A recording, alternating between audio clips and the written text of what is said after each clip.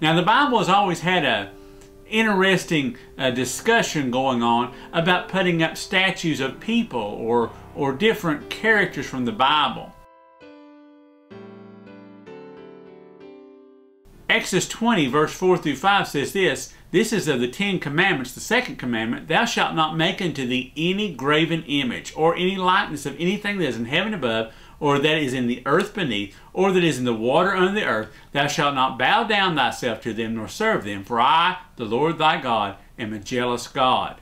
Now, the point of that commandment is clear throughout the rest of Scripture as well. Psalm 97 7 says this Confounded be all they that serve graven images, that boast themselves of idols. Worship him, all ye gods. Now, that doesn't mean we can't have memorials, we can't have statues, we can't have uh, images. Uh, that are set up. The point is not to worship those images, uh, to, but we can respect those images. And this has been a, a testy thing. Over time, as people don't understand this teaching, they have uh, twisted and turned it. And there have been things called the iconoclastic controversy.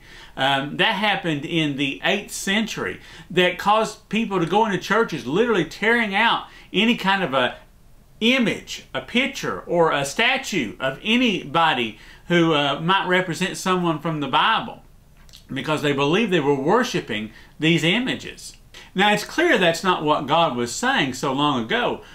For in Exodus 25, 18 through 20, God makes the statement that they were to build the Ark of the Covenant with the images of cherubim, these angels there, uh, on top of it.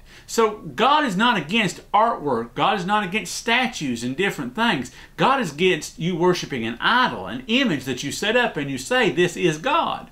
During the iconoclastic controversy in 726, the Emperor Leo III publicly took a position against any images or icons as they were called. These images and statues of Christ were destroyed as churches were ransacked.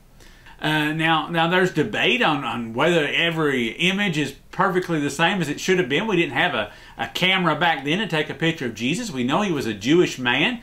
Uh, some people look at the Shroud of Turin. Many of the images that we make are uh, throughout history have reflected on what the Shroud of Turin looked like, which is an interesting study in and of itself. But regardless, uh, I don't believe that, that, that we should tear down these images. There is something more to this. This started in iconophile argument, uh, meaning that it was pro-icon, pro-image, uh, by St. John of Damascus. He claimed that in Christ, the meaning of the Old Testament prohibition was revealed. God prohibited any representation of God or anything that could be worshipped as God because it was impossible to depict the invisible God in the Old Testament.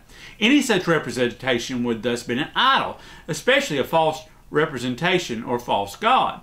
But in Christ's person, God became visible as a concrete human being. So painting is necessary as a proof that God truly, not seemingly, became man.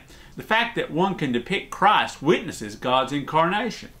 Finally, many of the Christians gathered together in the Seventh Ecumenical Council in 787 and made the decree that it was fine for Christians to respect the holy icons, the images, but they were to prohibit at the same time their adoration as idolatry. So there is a clear line here about what the Bible states and what Christian history has agreed upon for centuries, though there is still argument upon this. I think that we can all agree that we put up statues to respect the individual who came before and not to worship that statue.